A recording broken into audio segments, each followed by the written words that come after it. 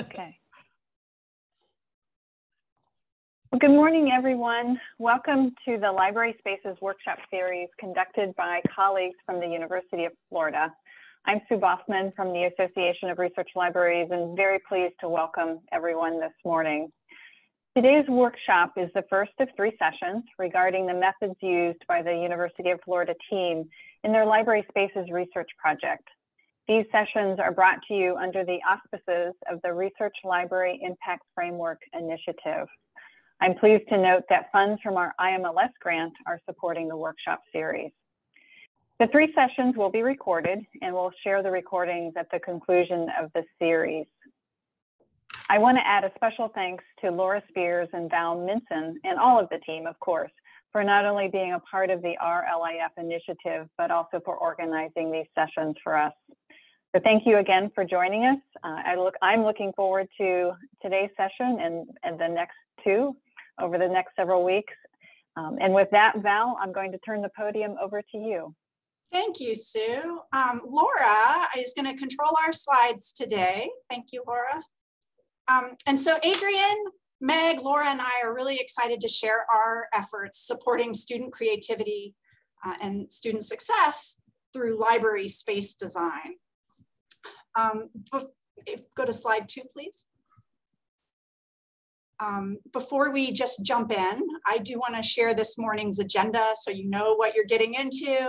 Um, and so let's just start real quick with some introductions because we are a, a large presenting team today. Uh, I'm Valrie Minson, Assistant Dean of Assessment and Student Engagement for the UF Smathers Libraries. And I'm also chair of Marston Science Library, which is the library, one of the campus libraries that we did the majority, all of our study uh, in. Um, and Laura, if you wanna jump in next. I'm Laura Spears. I'm the Director of Assessment and User Experience for the Smathers Libraries. And I've been um, working on this project it seems like a long time. Uh, so we're really glad to be here today. Meg? Sure. I'm uh, Meg Portillo, coming uh, from the architecture building on the University of Florida campus in the College of Design, Construction, and Planning, where I'm a professor and associate dean of research. Um, this team, we're so happy to share some of our uh, findings with you and, and look forward to uh, our time together. Um, Adrian Del Monte um, just graduated with his um, PhD from the College of Design, Construction, and Planning um, just months ago and is a faculty member uh, in the Philippines. Adrian, uh, why don't you introduce yourself? Hi, good morning, everyone. I'm Adrian Del Monte. Um, as Dr. Portillo mentioned, I was actually a graduate student, like four semesters. I wait, my last four semester as a graduate student, I was actually spending research for this uh, for this project. So thank you, ARL and Marston Library, together with together with our interior design department for um, giving me this opportunity to basically uh, work on this project. So yeah, I was a graduate. I was a graduate student uh, who basically worked um, some of these, some parts of this research. And he says some parts, but really he had his hand in every aspect of this, um, and his and his expertise really shows in how we and how we developed our methodology and everything. Um, oh, okay, so for today, we're going to talk about the study background. You already are aware that this was an ARL uh, IMLS funded project. Um, we're going to talk about uh, the ways that libraries can support creativity, and that's going to be Meg leading that conversation. Um, and then we'll go into our methodology. Uh, Adrian will talk about the spatial analysis and the focus groups. Laura will talk about our survey um, and run an, a little interactive piece using Mentimeter. Uh, and then we'll close out with some overall findings and um, ways that we can continue the conversation around supporting student success and student creativity. Next slide. so where did it all begin? So we there was a call, uh, an ARL call for research proposals um, in 2019, and our team was selected to explore very specifically how library spaces facilitate innovative research, creative thinking, and problem solving. And we weren't the only team who, uh, who was awarded this um, to, to explore that particular area. We also had UC Davis, Iowa, Syracuse, Johns Hopkins, and Temple, many of which uh, have representatives here today. Uh, next slide. So the Marston team, uh, so this team, the research team included, it was really two separate um, but melded uh, units. The Marston team or the library team included four of us from the libraries. And we had expertise in assessment and make-ready services. And then we also had four from the College of Design, Construction, and Planning. So uh, our colleagues in that, in that unit understood interiors and space design, and they have a, a really fabulous foundation in user-centered planning. So we came together to sort of answer this question of how libraries can, um, can support students' creativity. But let's take a quick look at our library building, um, at our library space. Our building opened in 1987, and we have five floors of five very different uh, biomes.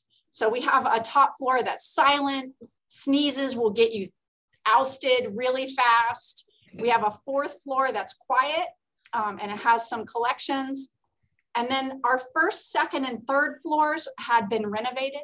Our fourth and fifth floors had not. So they're still 1987 um, uh, themed. Uh, and then the first, second, and third floors, we have a more collaborative um, uh, spaces. So the third floor has group study. Um, it's what I would call a floor where students go to study alone in public. Um, the second floor is our entry level, it's our major service points. And then the first floor is where the majority of our students study. So 60% of students go down to the first floor to study. It's important to mention that our first through third floors being renovated, prior to the renovation, we had about 700,000 visitors a year.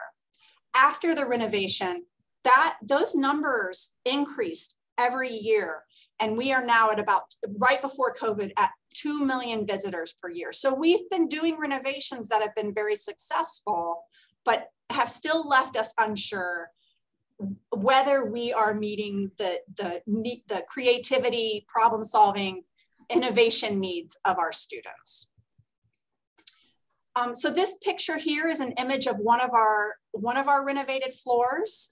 Um, and it, it, sort of shows you how we've approached this on the fly without any study behind us. Um, this is our entry level floor.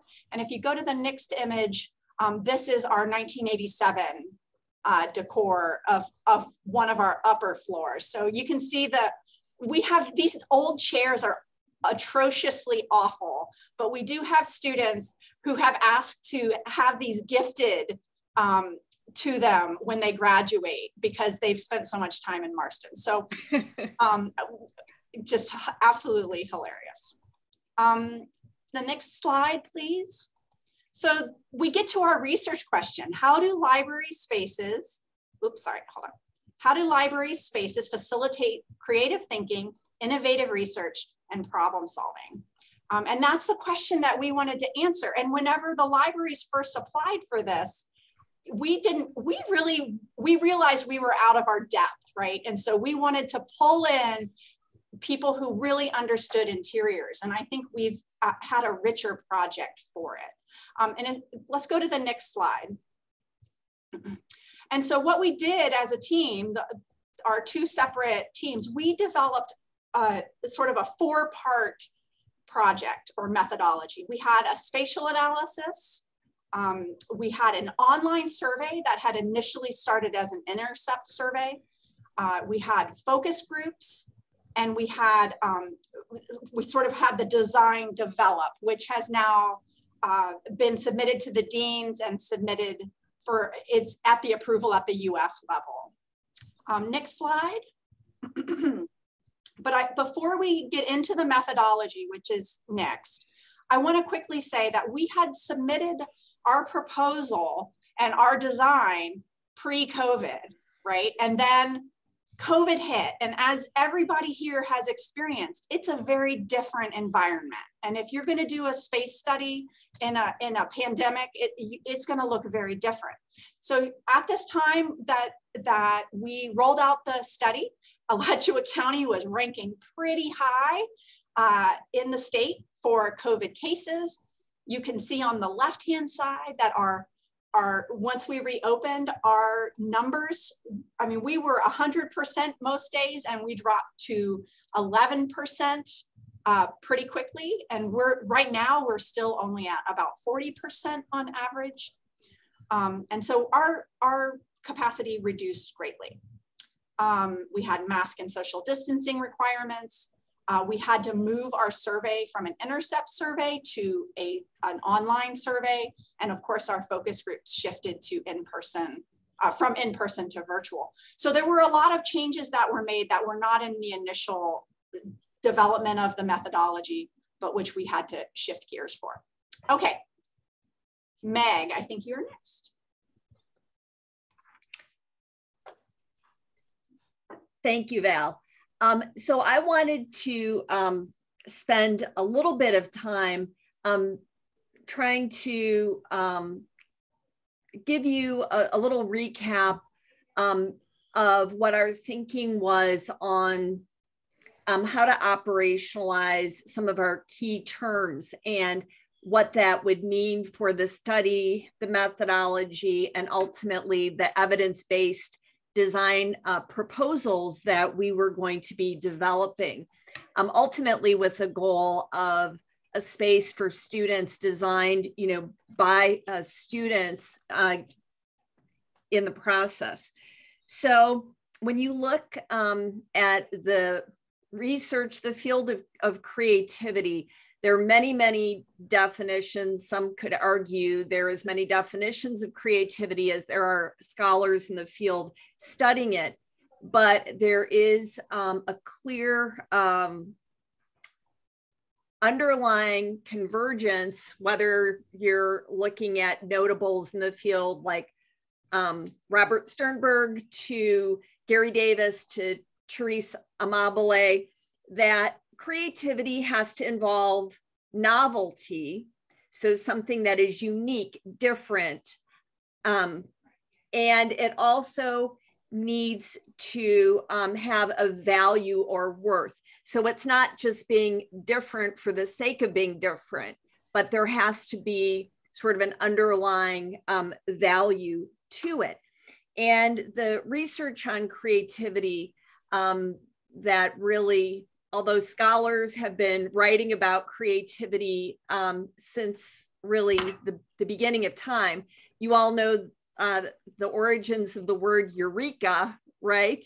Um, which purportedly Archimedes shouted after solving a particularly difficult math problem while in the bathtub, and that feeling of discovery. And in ancient times, creativity was really thought to be um, divinely inspired, that creativity was not a trait to be cultivated or honed. It was, it was from the gods. It was mysterious. It was a little frightening. And uh, oftentimes, those who were highly, what we would consider now as highly creative, were viewed to be disruptors and, and oftentimes, uh, you know, suffer the consequences you know, and others who there's a whole time and place component to creativity, right? So uh, Van Gogh, who, you know, clearly um, was highly creative and really um, pushed um, the medium of expression in terms of his painting to a whole other level, only um, sold one painting in his life, and it was to his brother Theo. Now, granted, Theo was an you know an art uh, you know he was an um, art collector and was in the field, but but there was not a convergence between time and place. So if we look at creativity, we're saying um, it has to have novelty, it has to have value. And there is a, a, a framework that looks at creativity from four different um, vantage points. There's the creative person, those traits and abilities and tendencies that are, you know, inherent to the individual. And the these can, um, there's similarities shared um, on approaching problems and openness to experience, um, perhaps whether you are in physics or poetry um, in your in your creative mode. There's a process that you go through, and other others have tried to define steps and stages, you know, in that process. And then there's often a, a product, and that product again can take many, many modalities. And there's an environment um, that can happen at different levels um, for all of those components to converge, you know, between. When we're thinking about the library project, we um, originally, as um, as you know and are experiencing, and all have your, you know, stories um, about how COVID has impacted us in every realm of our life, personally, you know, and in the workplace, and you know, and on campus um, we creativity really is at the top of the pyramid. Those of you, many of you are probably familiar with Maslow's hierarchy of needs that looks at self actualization. And uh, Laura is going to be talking about that a little bit more later. But in terms of basic human needs, at the very bottom of that hierarchy, it's physiological needs. So you have to think about um, you know, air quality, you know, in a building, there has to be, you know, shelter from the elements, you know, there needs to be heat, you know, you need to have cooling. And so that's an essential need for functioning. And if that's not working, you're not going to, to get up to the pinnacle, which would be creativity, that, that purposeful self-actualization. So we have special talent creativity, but we also have a way of approaching life that is creative. And we view, we're in the camp that views creativity as a normally distributed um, trait. Um, that all of us have creativity to differing degrees, all students, um, again, likewise, and you can develop and hone this um, characteristic. Creativity can be more global or generalized, or it can be domain specific. But then the next phase of Maslow's hierarchy really does look at um, safety and security. So that's physical space, you know, this, and with, with COVID, you know, all of a sudden it's social distancing, distancing it's wearing, you know, masks, it's and then it's also psych- psychological um, security. So some people, we all have um, their differences that need to be respected in terms of how you know what's your comfort level for even you know going back in the library? We went from 11% to 40% so again that all has to be recognized. And yet our study is looking for the self actualization that haps, happens with creativity, whether it's, um, you know, pushing, um, you know, pushing inside on a daily exercise that a student is trying to work out and come up with a proposal for um, for a capstone project or whether it's a doctoral student you know writing you know another chapter of his dissertation trying to analyze her findings and how can we facilitate that? So but the point being is you can't if those basic needs are not met you're not going to be able to reinforce um, creativity. So because of the pandemic we really did have to to sort of rethink you know all those stages. Um,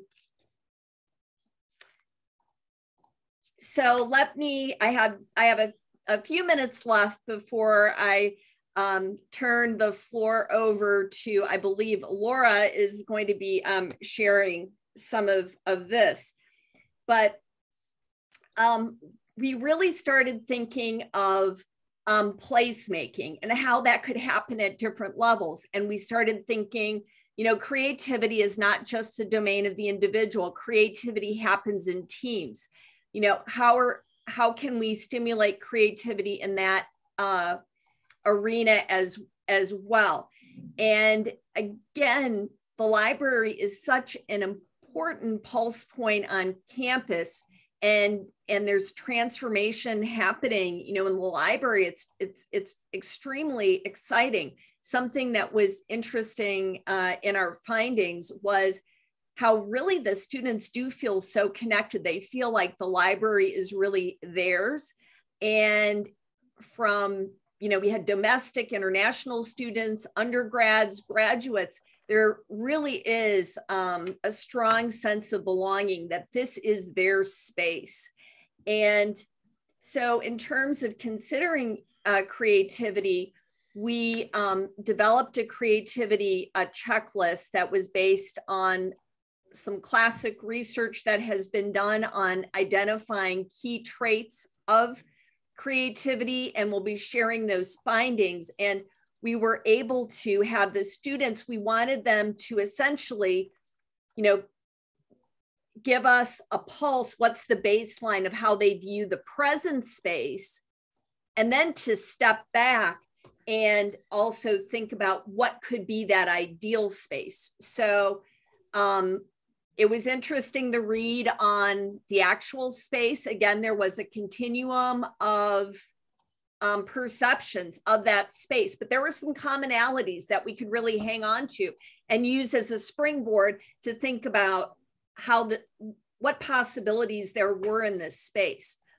And essentially, um, Jason Meneeley and I, um, who is a colleague in, in my academic department, we were involved um, in submitting, um, being invited to write about cr creating a creative ecology for this um, book by Jo Ann Asher Thompson and Nancy Blossom were editors of this, but it was looking at uh, design of the future. And essentially, um, what we want um, to really achieve is to recognize that there is an inherent te tension in every sphere of activity within the library, right? um, within every environment, there's tension, even as an individual, between which kind of space you want to go into. Are you having, are you going to be able to, today, you want to, to be closer to windows, or you want to have a hum of activity, or you really are going to need absolute uh, silence and to really think about um, that choice and control is incredibly important on every level of the ecosystem, whether you're working individually or groups. And we'll talk more about um, choice and control later, but it really, we have the creative person, but we also have the creative process where you're, um, you're moving really um, from, you know, you're preparing you're you're you're getting materials you're going into databases you're you're acquiring knowledge you're doing exploration you're in the preparation phase and then and then you move into um, you know incubation. You have all this knowledge and you're wanting to again develop a thesis statement. And how can um, how can you bring all this information together? And then you go into illumination where you get ideas and then verification is where you put those um, ideas out there for others to react to in the field. So individuals have their own tendencies and preferences but then you also have a process that people can be going through in creativity. So now um, now, Laura uh, is going to uh, take the floor and talk to you about how we approach spatial analysis. Spatial analysis. Actually, Adrian's going to do this section. So go ahead, Adrian. Thank you, Laura. Um, thank you, Dr. Portillo. Um, at the very beginning of this project, we were actually um, thinking uh, what are the ways that we can actually capture what was the requirement for us to be able to have like a good foundation when it comes to design. And then it so happened that um, in it was in 2019 that um, some of our graduate students and colleagues uh, in uh, the interior design department actually did um, um, an initial uh, spatial analysis, particularly for the basement. That was basically one of the things that, that we look into uh, when it comes to um, uh, we, how we can further basically our design um, for, for the Marston Library. So what we did is basically um, we, we, um, we applied spatial analysis um, throughout all floors. It's basically examining the relationship of how spatial features of, of Marston Library can facilitate um, users' activities. Um, Laura, next slide, please. Oh, so basically, this involves uh, a routine examination, which seeks to explain the patterns of how students utilize the spaces. Um, so it, it's more like a limited behavioral mapping in which uh, we trace like how students basically, uh, how, how usually the students work within, within, uh, within the, the of their tables or uh, in a desk. Um, so we come up with um, um, 18, 16 observation per floor. Um, uh, basically, uh, I, I, I, was there at like uh, at the corner of, of the room um, observing how these students are actually doing.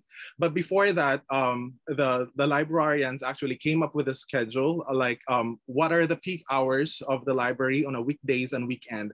So we identify Wednesdays and Saturdays uh, to be the, um, the to be the ideal schedule for us to um, to observe um, how students are actually working or studying within, within Marston Library. So we set up eight observation schedules and it yielded us basically 16 observation. Um, the maximum number of hours um, uh, that I spent uh, observing this uh, uh, per floor is basically about 20 minutes. And it was um, scheduled from last week of February until like the second week of February. No, no, last week of January to the second um, week of February. So um, I spent basically 15 minutes, 15 minutes, 20 minutes upper floor doing visual sweep um, on the activities of each um, space users. Basically, uh, uh, in layman's term, basically, I, I, was like people watching. I was like taking down notes. What are the things that they're doing? Um, uh, like if they're like reading alone or if they're like chatting with their group mates. And then uh, what else? So basically I look for a spot uh, where I can observe most people in a discrete manner. Uh, since I was a student, I was like trying to be a student at that time. So basically uh, I, I look for a, uh, like what they call this one, um, um, a corner where I can see most of the students. And then from time to time, I move from one floor to the other, uh, basically uh, making some observation. Um, one thing probably that I wanted to share about like doing spatial analysis is that if you can print um, the updated floor plan of the library, if say, for example, you wanted to do like spatial analysis, it would be best to include uh, the furniture layout, uh, basically the, the, the, existing floor plan, so you can easily mark and do um, annotations, uh, whatever like you're trying to observe. Um, so if you have a digital version or an app-based mapping, um, during the, the very first stage of our uh, of our initial um, of our spatial analysis, we actually wanted to do uh, we, we actually wanted to tap one of our students, graduate student who had um, developed an app for spatial analysis. Unfortunately, um, through uh, because of licensing problems, we're not able to get those um, app. And then if I know there are some free software that you can actually do like um, uh, app-based mapping, that would also be best, especially if you're doing like a um, uh, multiple observe observations. Um, and then if you have a number of uh, uh, colleagues who basically will do um, annotations uh, for this mapping. So for our case, we basically used a manual uh, tabulation and mapping. So I use color coding.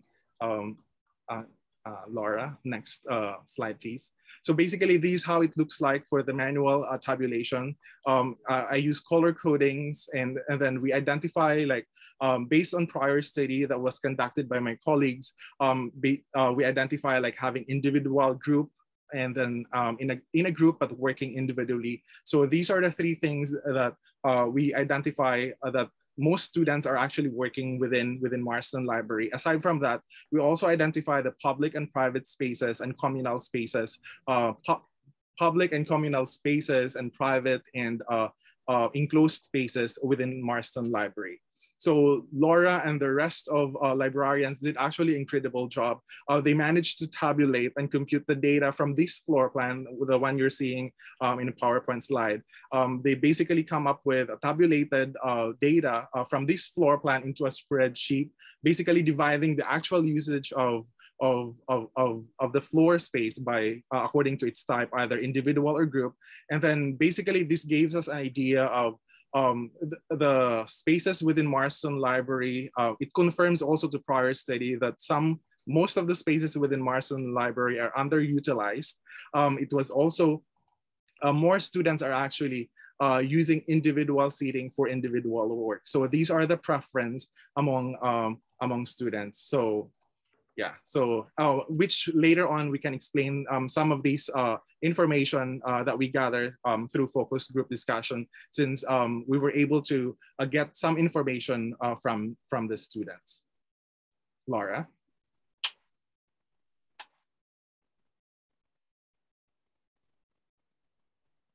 Thank you. Okay, so we started out with an intercept survey and it, of course, turned out not to be an intercept because an intercept would mean that we were standing in the libraries, coming up to students as they're in the process of actually using the libraries.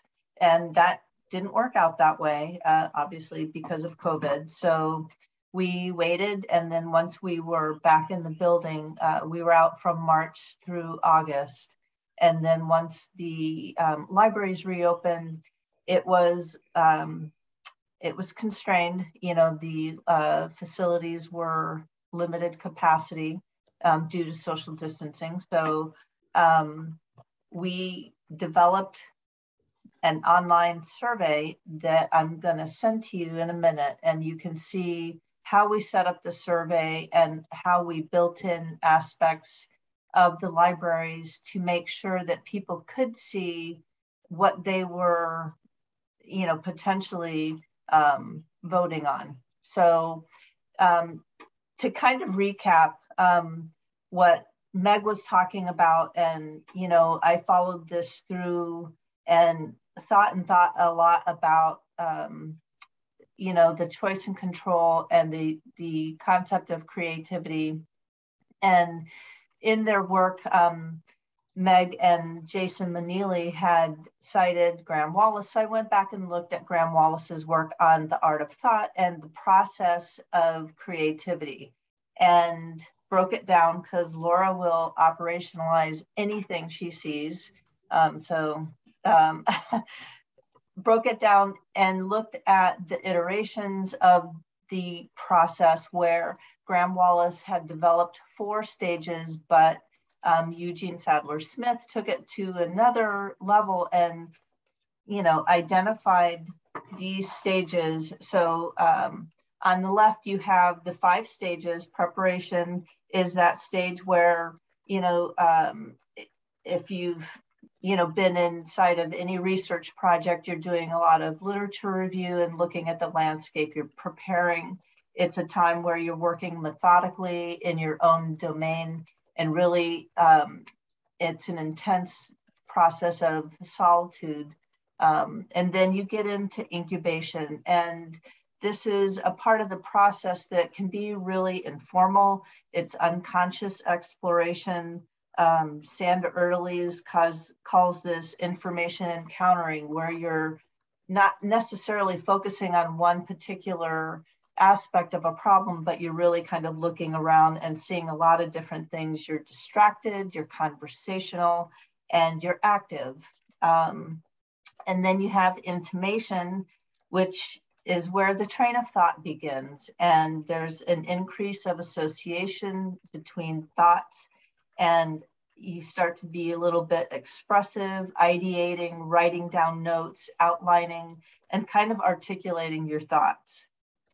And then you have illumination, that eureka moment where, um, you know, the there's a flash and an idea, and it's where you start to really kind of culminate the train of association, and you start to articulate um, through your creativity and make your ideas permanent. Um, and then verification is this day where we present our research and talk about it and ask you to reflect on it and ask us questions because this is how research gets better. And so in looking at the space typology next to it in that center group, you have um, the spaces that Adrian looked at in the spatial analysis, looking at private, individual, group, and public, and the combinations of these and how students use spaces. One of our researchers, Sheila Bosch, had done work previously and published a paper called um, um, Together Alone. And basically, you know, or Alone Together, I can't remember the exact name, but basically it's the fact that there's a, a spectrum of working that's individual and group and private and individual. And it coincides with this process where a person isn't always just working by themselves. They're in this path and they need all different kinds of um, environments and inspiration and motivation. And so that's where the choice and control comes in because you know they want their space to be what they need depending on where they're at in this process. And so for the creative ecology on the right side, for the libraries, this is where um, the libraries um, make this tangible, access to resources for preparation, authoritative resources, individual and private space, and facilitated group input. Um, when you get down to illumination, um, their need for creative technologies, private quiet areas, group and individual study, private study areas. It's not just one thing that contributes to this creative process.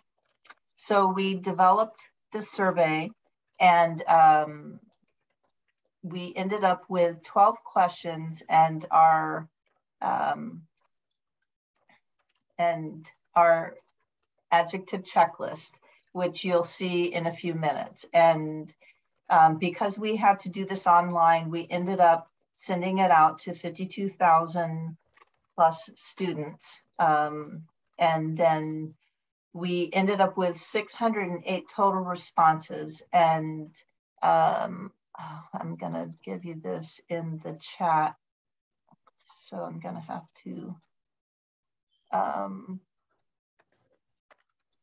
I just put the survey in the chat so that you could open it up and take a look at it. It's a PDF and um, you'll see how we set up the survey and you can see the adjective checklist.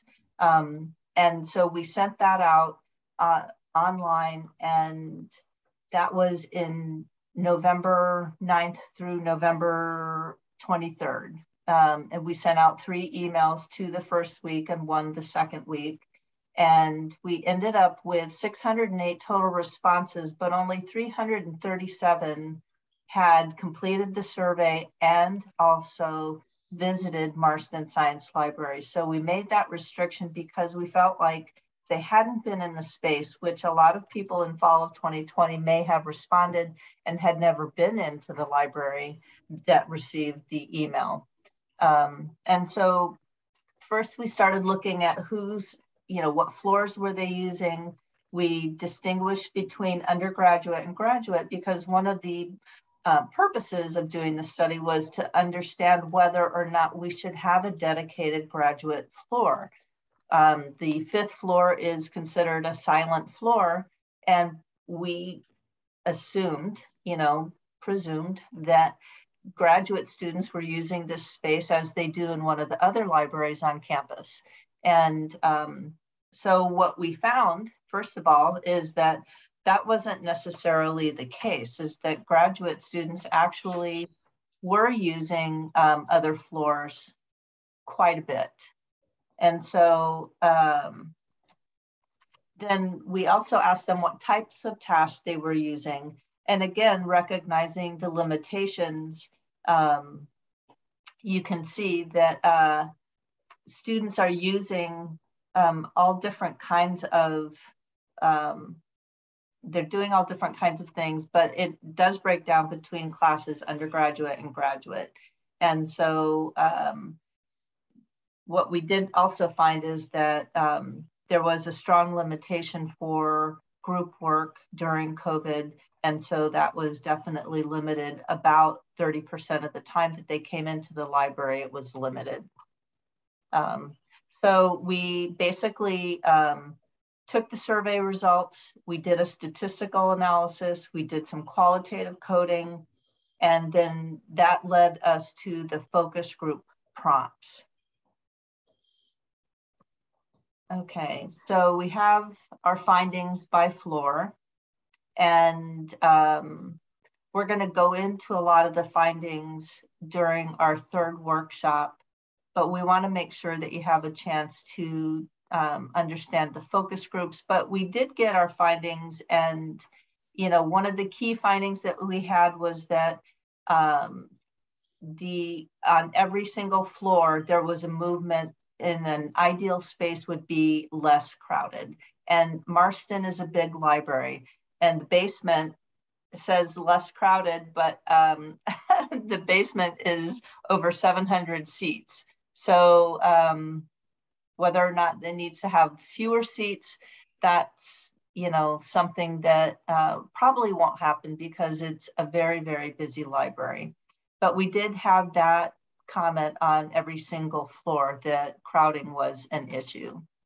And then the fourth and fifth floor, the fourth floor had the strongest difference on the values between the current space and, and ideal space.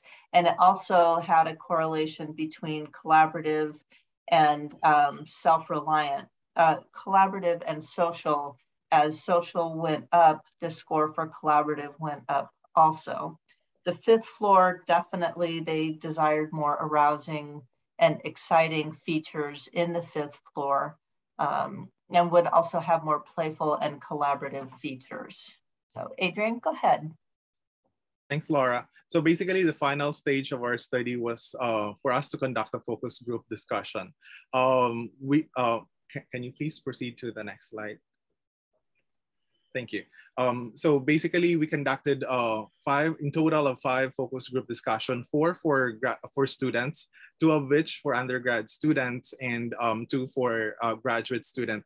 Uh, within the composition of students uh, focus group discussion, there's like maximum of, of five students uh, per focus group. And then similarly with uh, the, the employees uh, focus group, we basically have like about five or six um, um, um, members uh, for the focus group discussion.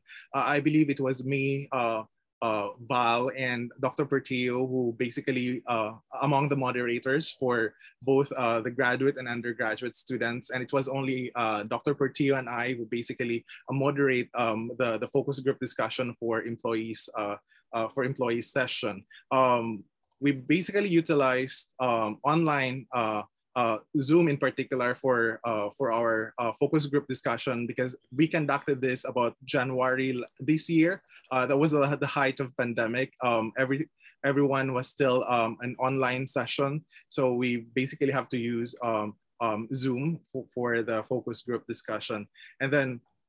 Um, we also utilized Poll Everywhere as part of, of, of the preliminary uh, questions, basically like an icebreaker uh, for us to um, um, get to know some of our um, uh, of our um, respondents, and then basically uh, our discussion uh, was uh, centered uh, on current spaces and ideal spaces. Basically, uh, what we got from um, focus group discussion validated what what was the result from from our survey. Um, so these are we basically have seven prompts for uh, for our uh, focus uh, for our yeah focus group discussion. And then um, one thing probably that I wanted to highlight is that uh, we wanted to um, get um, the ambivalence, particularly on on these specific adjectives like being playful and uh, serious space. We wanted to um, get the perceptions of, of our respondents of how they define a playful space versus um, serious space together with um, social space and unsocial space. And there is like uh, actually a divide between graduate and undergraduate student, particularly how they viewed social space and unsocial space. Like say, for example, for graduate student, they would um, they, they, they basically would go to the library um, um, since uh, most of their time they would usually spend uh, in the laboratory and then uh, going to the lab to the library could be their chance to do like a socials to, to, to be part of uh, to be part of a community. And then they considered um, having um, a space within the library to be a social space. And then um, some notion of an, an social space would mean like um, they don't want um, they don't want uh, crowded spaces or sometimes they don't want like uh, these specific noises that basically would trigger um, their their idea that they're basically like in a crowded space. So they want some isolation sometimes. But most uh, graduate students prefer actually to, to be seen within, within the library simply because um, their environment in their laboratories, they've been confined. So sometimes the, the idea that um, they, go to the library to basically, uh, uh, to basically socialize. So these are some of the prompts um, that we ask. Uh, basically, if they're working independently. We wanted to know like uh, how their spaces would look like. And it so happened that most of our uh, respondents were were kind of um, um, were kind of descriptive when it comes to uh, the kind of furniture the kind of, of, of environment that they wanted to um, um, to describe when it comes to these type of questions. So it basically gives us uh, Laura, can you please uh, uh, move forward to the next slide? So basically, they, it gives us um, this um, series of themes uh, pertaining to how we uh, we analyze the focus group result. So um, on, on your right, basically the lower right uh, um, tabulation, uh, these are the things that we derived from uh, from the focus group discussion. We um, we basically get um, statics, ambience, amenities, architectural. We're talking here about um, some features within, within the building that basically would trigger their answers. Um, uh, on, on specific architectural features. There's also building features. There's color, comfort. So these are some of the things that, that basically uh, um, that we were able to um, um, collect uh, pertaining to themes uh, from, from the answers uh, based on the prompt uh, that was uh, that, that we gave uh, during the focus group um, session. Aside from that, most undergraduate students basically focus predominantly on the importance of group studies and furnishings. So they were very much uh, very much uh, descriptive when it comes to the kind of furniture that they wanted. Like they wanted basically like a big uh, um, desk um, having like this specific light or sometimes like a background noise for them to have like a comfortable um, uh, li library setting. And then graduate students um, focused, uh, discussed the importance of group and individual study. Uh, I think uh, I've mentioned this a while ago that they basically go to the library to socialize and then they want to be part of a community because they feel isolated uh, within their laboratories. So going to the library, that's a, their chance to basically mingle. Um, I think there is a notion that graduate student wanted like specific uh, floor. I think this was raised at the very beginning of our project that they wanted to have like specific floor for graduate student. But it so happened that most of our respondents would say that they actually wanted to be part of the community. They don't want to be secluded in a specific floor. If they wanted to be in like a graduate study floor, they would go to the other library that basically has like specific graduate student space. So um, I think that was like one of those uh, information that um, that's common across uh, graduate student when we raise this concern pertaining to having like an exclusive space for graduate students. Um, aside from that, uh, among the things that basically um, uh, that basically highlighted during the focus group discussion is like the um, having like a good set of furniture, like having a uh, having um, to control the, the temperature and lighting. So um, um, these were some of those uh, uh, uh, information that basically wanted the students to have a control pertaining to their, their built environment. And then next slide, please. Um, so basically, uh, uh, in a general uh, perspective, most uh, undergrad students uh, wanted to have uh, um, sense of identity pertaining to um, um, the library spaces. They believe that um, it's a science library, and then they wanted to have like sense of identity within within the library. And then it, it, was actually seconded by um, most employees when we had an interview that they feel that um, in general, um, they wanted some identity for Marston Library since it's it looks like a generic library. Um, it was actually highlighted like in one of the interviews that um, prior to renovation of Marston Library, they basically have like this gi um, ginormous uh, uh, sculpture within within the entryway, and it was something that people remind them of of Marston Library, and eventually it was taken down. And then they feel that um, Marston Library um, is almost like similar to any other libraries, simply because uh, there is no um, identity for the library. So um, aside from that, having like um, simple um, elements pertaining to attachment to nature, like having um, uh, biophilic elements within, within the environment. Um, they find it uh, um, um, appropriate to have incorporated within the built environment, like simple uh, uh, design elements that basically will enhance their experience within within the built environment. Um, um, that's basically the the general notion of of the the what they call this, uh, the focus group discussion. And then what else? Uh, uh, choice and control. Um, so, so, basically, uh, uh, when we had an analysis, uh, most students uh, preferred to basically have like a choice and control uh, within their space, like having um, um, a, a, chance to basically uh, look for the kind of furniture that they wanted to sit, or probably like uh, if they can uh, uh, manipulate while working because they don't just want to focus on like a specific cubicle when they're um, studying. So I'm not sure if I cover everything, but so far these are the things that I remember uh, when it comes to the focus group discussion. Laura or Val? Okay, we go. We're now next to the interactive activity. All right. So we are going to ask you to go to menti.com and we're going to take the opportunity to show you the um, the actual survey that we did and we're going to limit it to the eight adjective pairs that we um, that we found to be part of the creativity index by analyzing um, the differences. What we found is that eight of these, um, and it kind of goes along with Maslow's hierarchy, um, that these eight adjectives really are the ones that contribute to um, actually um, um, contributing to the process. So I'm going to stop, well, let's see.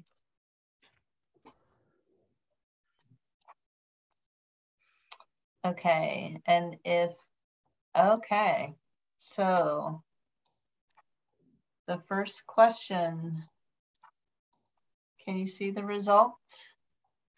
Okay, so um, let's see.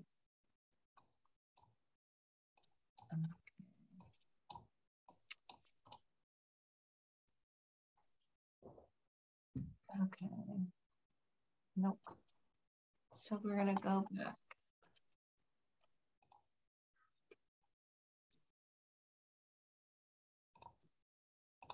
Okay, so in an I in a current library, go ahead and do your current library as well.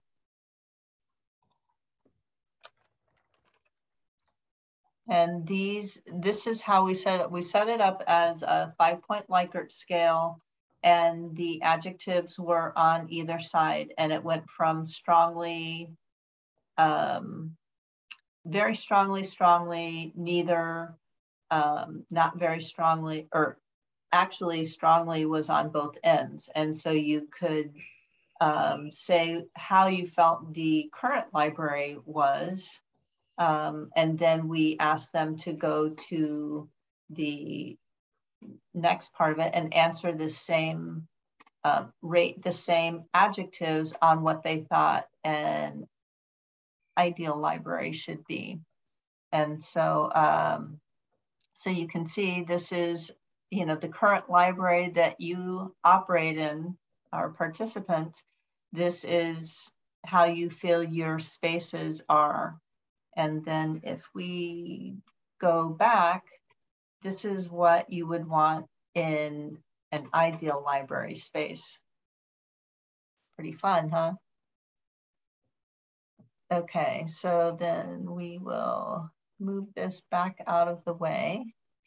And what we found is for our students, um, these were their feelings about the current space. And so 81% of the respondents were undergrads visiting the libraries um, two to five hours a week, over half of them, and 84% of them had been uh, were consistent in-person users.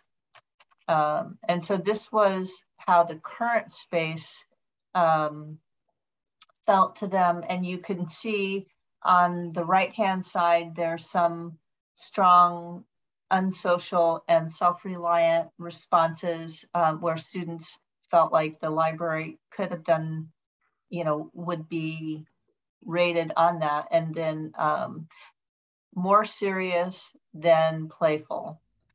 Um, and then for an ideal space, um, obviously for the thing, you know, the adjectives like pleasant, unpleasant, relaxing, distressing, there's a, you know, big movement over to the left side. And so um, we did a means comparison, which we're gonna look at in workshop three, but you can see that there's movement into the ends on, you know, who wouldn't want a more friendly space than an unfriendly space? Yeah, I'd like it to be more pleasant than unpleasant. But what we also saw is that there was a strong movement into collaborative and public. And we also saw that with graduate students in reference to the fifth floor, which we found a little bit surprising that, you know, there was um, the desire for that to be the case on the graduate floor as well. Um, and so that's, uh, we're gonna go through a lot more of the analysis in the third workshop, but this is where we started is to see, you know, we did do the means comparison, but the means weren't terribly um, indicative except for where the movement was between the current and the ideal responses. So there you go. That's it.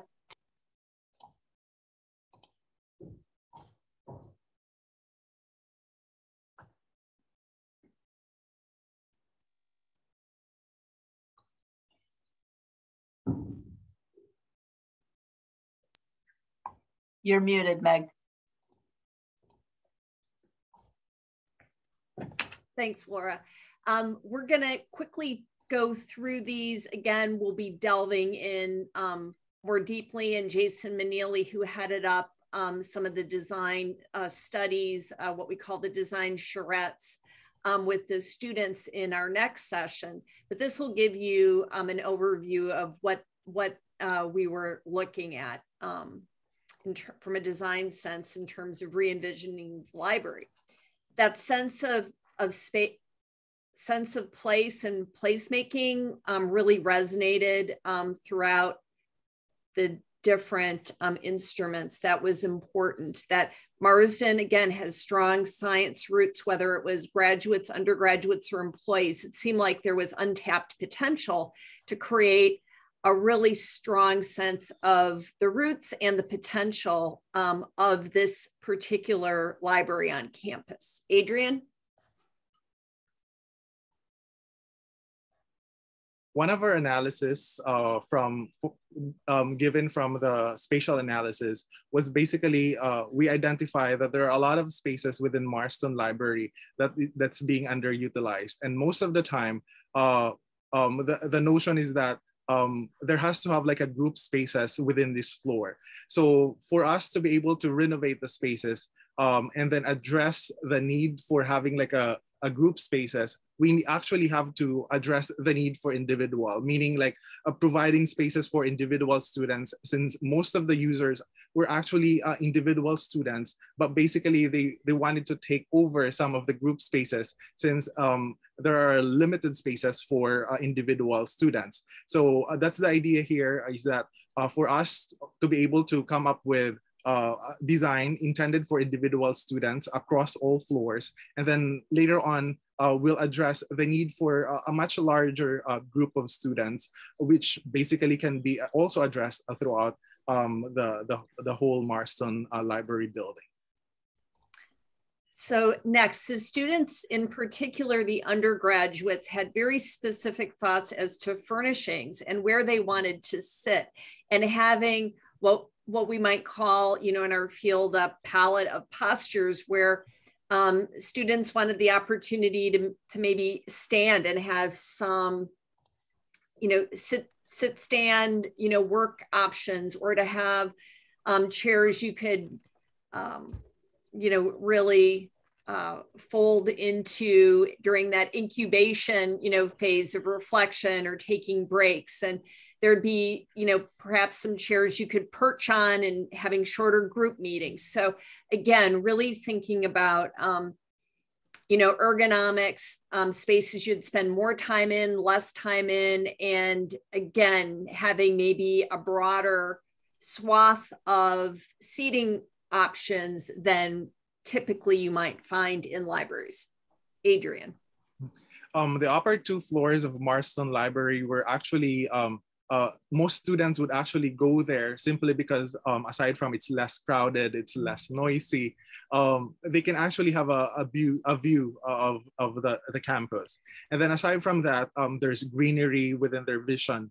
So one thing probably that we feel that it's essential for us to have like a, a, a better connection with nature uh, within Marston Library is to bring some of these elements, like a biophilic elements, like having plants, probably colors, or even like um, sound, natural sound, sound of nature that can be incorporated within the library um, to basically enhance um, their creativity or even like uh, make them more, uh, uh, what they call this, um, they, they can they, they either stay longer or it becomes more uh, appealing for them um, to to basically uh, uh, use the library often. So that's the idea like of having like different um, elements, natural elements incorporated within within the built environment.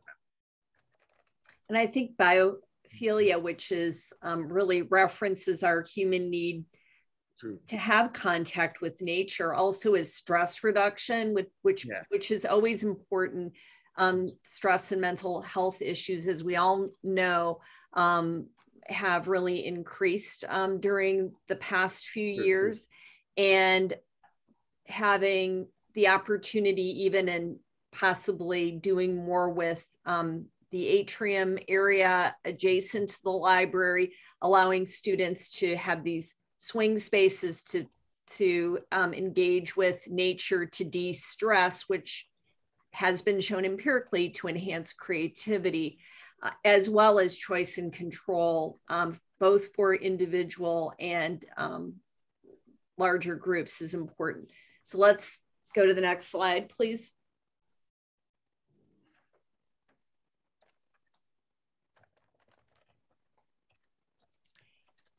So here we just have, um, we'll go, I'll just run through this really quickly so we have enough um, time. You can see, again, um, some of these were low hanging fruit, like replaced damaged furniture. and then other times, um, the students got really specific about materiality and, and color and um, proximity of one space uh, next to another. Um, increasing the ability to write almost floor to, to ceiling and um, to have um, seating and workspace for small groups, bigger groups, um, allowing for again this this flexibility. And again, it's it's being on that razor's edge between not having too much arousal in the space, but to still have it um, stimulating. That that's uh, that's the job of the designers to try to come up with in conjunction with all these end users also um, having sight lines to the to the restrooms that were really sometimes very tucked away on the individual um, floors. And again over and over and over um, like val and her space with her plant it's trying to increase um, this this affinity to nature was um, it's a universal trait but it's also heightened within the times in which we live. So let's move on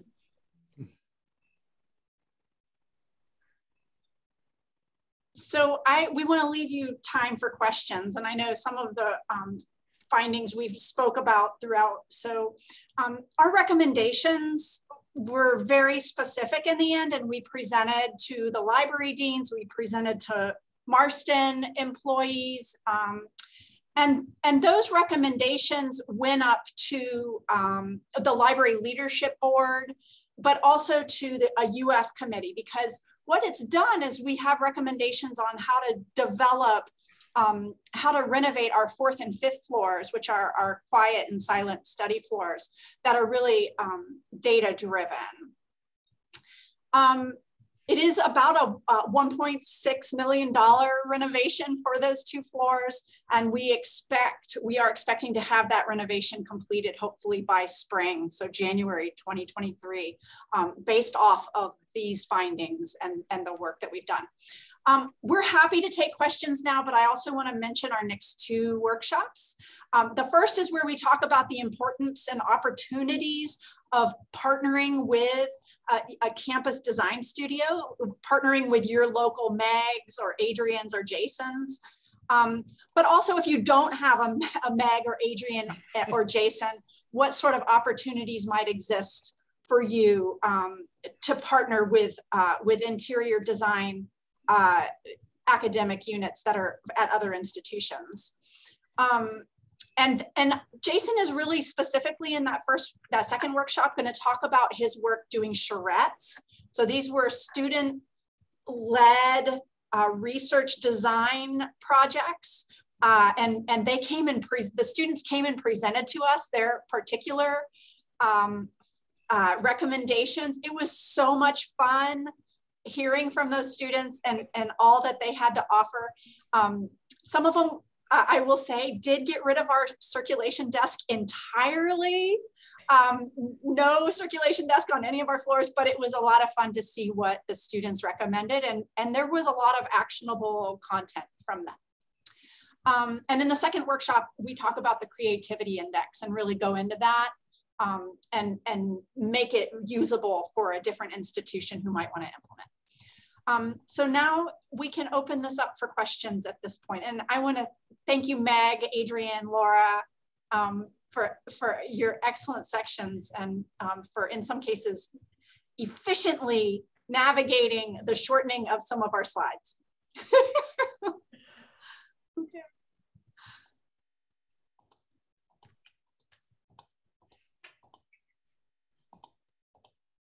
I know this was a lot.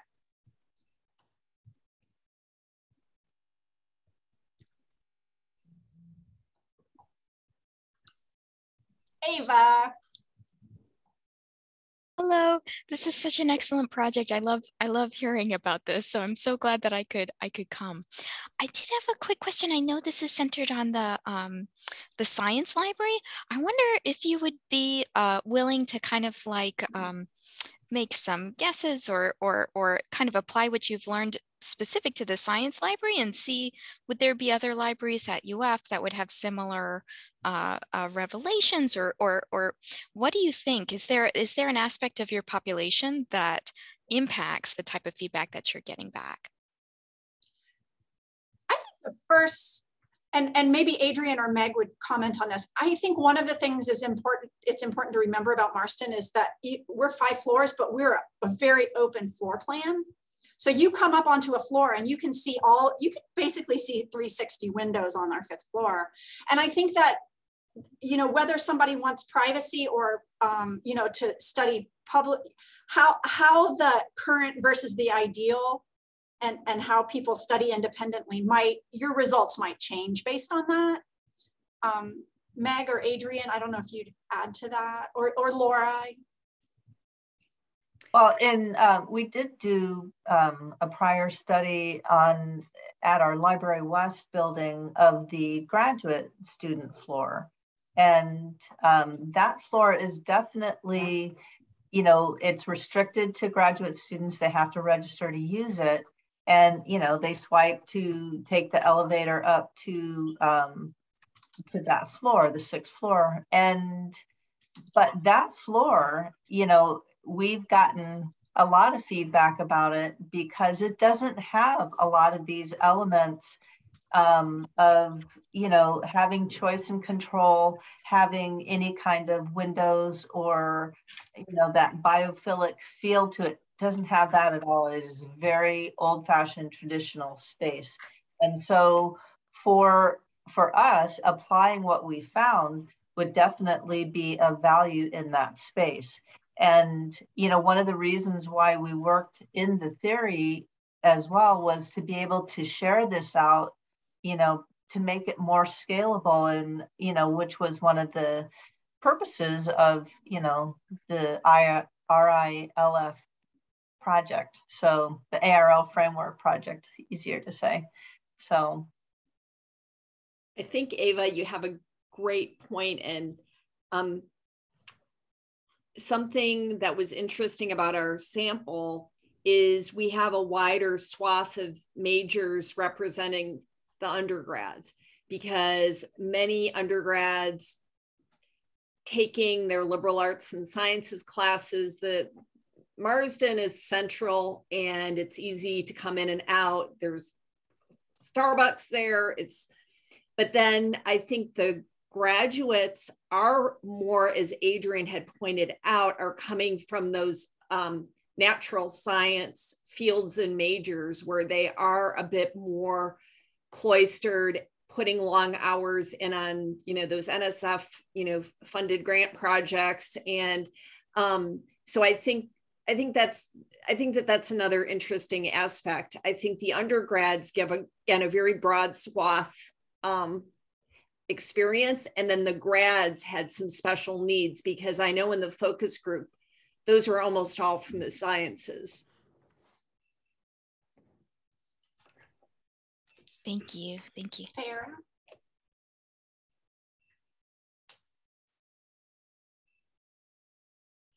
Sarah quinn has a question Hi, hello. I'm hailing from the University of Pittsburgh and I work in the um, Science and Engineering Library here.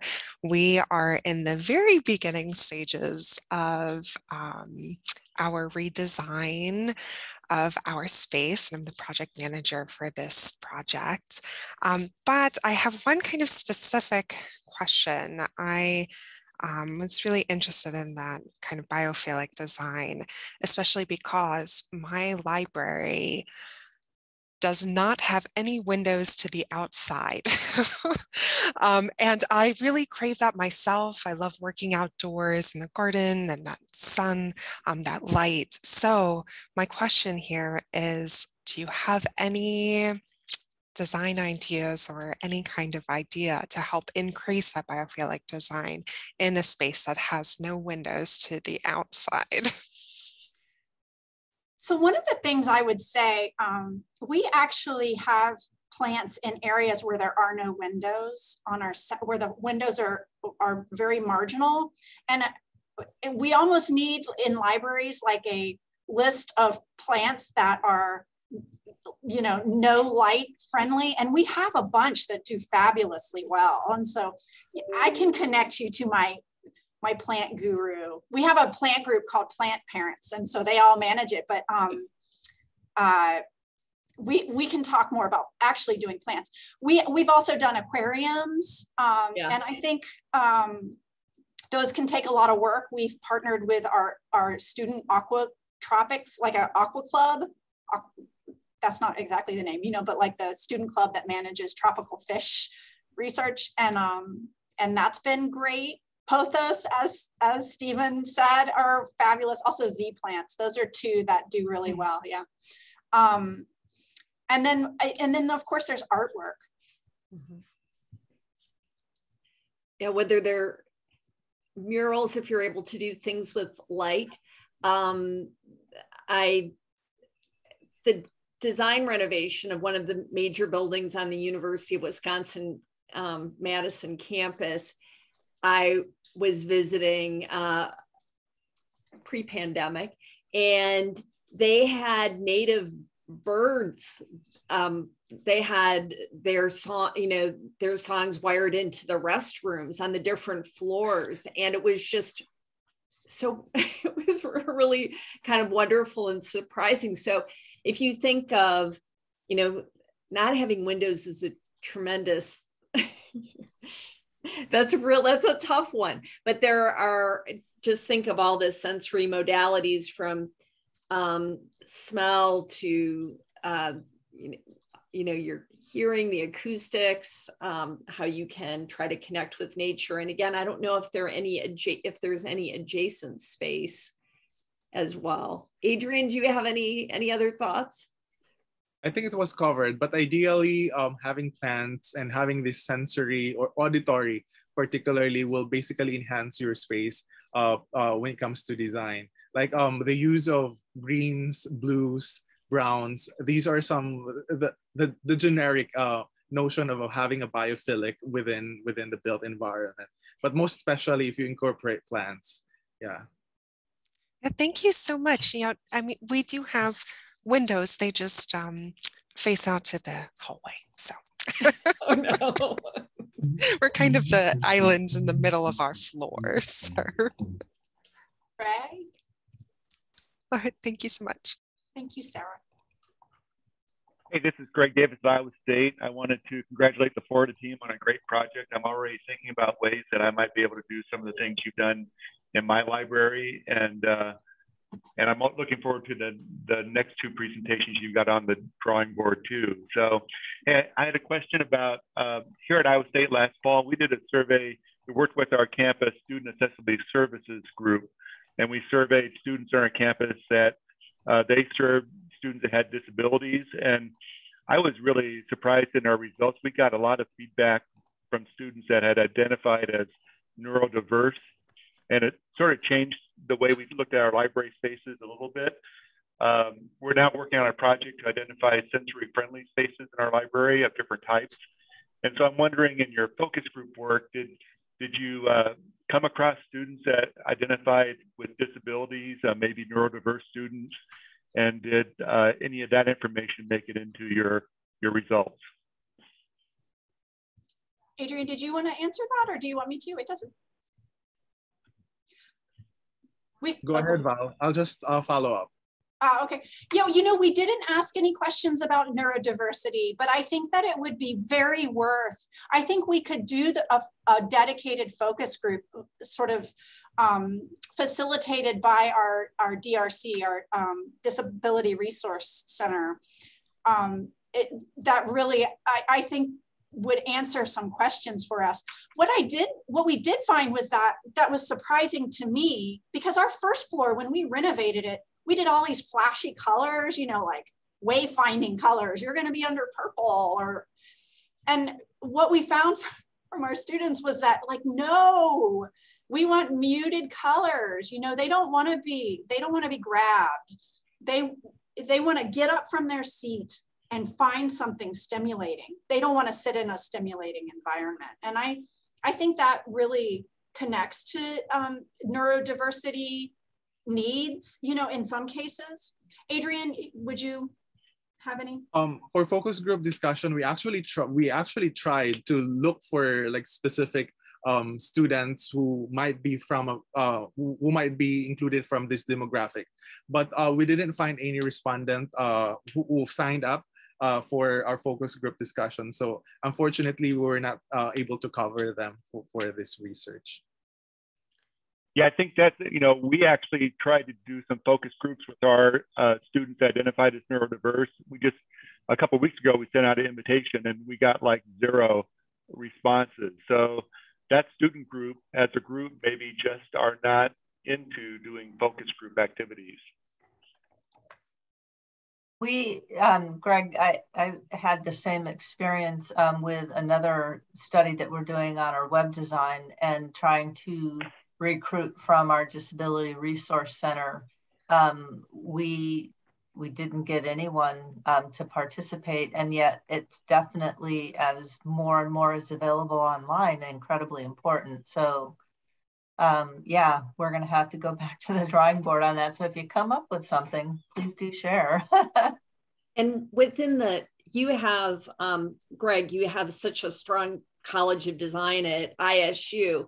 Um, they're national leaders, but they're there would very typically be, I know, on the interiors faculty, as well as in the architecture and even landscape architecture faculty. For example, in interiors, we have um, several faculty. Dr. Namkyu Park has done a lot of work on um, looking at, you know, more high functioning Asperger's um, individuals to those that um, may have um, more challenges navigating the environment um, with autism. And um, she's in, she does national research and is, you know, she just wasn't, um, she was on leave and was not, you know, part of our team. But I think that that certainly would be um, so important to be able to tap into and maybe getting local um, focus groups is tough, but there, um, our national organization had a competition on designing um, support centers for um, readiness to work for folks that, that, that did young people who had um, Asperger's who were transitioning from um, school into more independent living. And they did a whole national design project that had experts from around the country looking at those things. So it is being done. And I really um, commend you for doing that and know um, several faculty, um, Beijing Kim and um, Jaewha Lee um, at ISU, and they just, you have a terrific resource, probably a stone's throw away from your office. Yeah, you're right, Meg. We do have a great resource, and we've actually got a little bit of a project going with one of the instructors right now in the design college. And I think I'm going to invite them to your next workshop because I think they might be interested in hearing how your design studio is working. So, oh, that's we'll great. We'll, we'll see if we can get a couple more people to join us next time. Good, thanks. And I would put a plug in for Jason. So he he wasn't here for today's talk, but he's he was our primary contact. He was the first person that I reached out to when we, you know, we had put together this proposal. We were going to do this space study and study creativity, and then we had realized like, oh my God, like we are not experts in this. Like, what are we going to do? So we're going to embarrass Sue. She's going to be so. you know, so I reached, I was like, okay, we reached out to Jason. He is so interesting and, and has it can really pull this, like I think really coalesce creativity and um, and how libraries can think about space in a way that's intriguing. And he's a fabulous teacher. And so his work with charrettes, you're gonna see somebody who can pull out from students these ideas that can help you develop user-centered design. So that's a plug for the second workshop. Did you have your hand up, Greg, or are you? No, okay. We have a few minutes left, but we are happy to take any other questions. I do think that there's some things, so we covered a lot today and our study was had the three parts. They were really, you know, the, the what we had called the intercept, which is really an online survey. We had the adjective checklist and we had the focus groups. And we're hoping to make those sort of package those so that if if somebody wants to implement those um, at your institution, it's in a it's in a you know we we can package it up for you to sort of use it locally and make adjustments easily. Um, and so we're going to talk about that, and hopefully by the third workshop, maybe have some some things made available. But if you have any if you have you know one aspect of the study that you would like to implement and and want to reach out we can push that forward a little faster on our end um, if there's interest so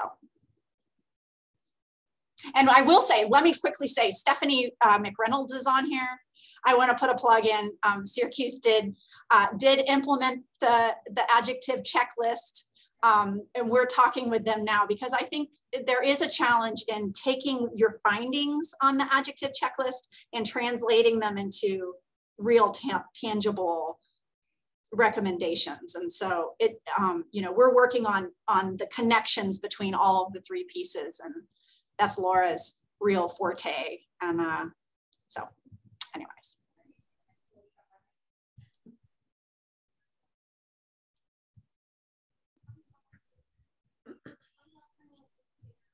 Well, we have five minutes of, of free time. I, Sue, you want me to hand to you as a final or? Sure. Uh, thank you. Thank you, Val, Meg, Adrian, and Laura very much for this workshop. Um, it makes me wish I was back in a library and could could uh, be a part of some of this um, really interesting and and sounds like a lot of fun work. Um, but thank you all. Uh, we look forward to seeing you next week, same time, same place. Uh, and so thank you all very much. I hope you enjoy the rest of your day and we'll see you next week. Thank you all. Thank you.